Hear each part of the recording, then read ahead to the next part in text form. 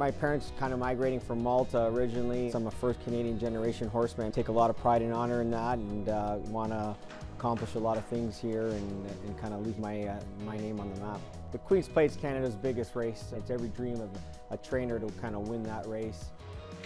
In 2007, I came close with Alezzandro. I kind of felt my heart kind of rip right out of my chest that day. Participating in the Breeders' Cup last year was probably one of the, the highlights of my career. I don't think a lot of people don't realize what a wonderful game it is uh, just to kind of come and observe and watch and uh, how beautiful and majestic the animals are.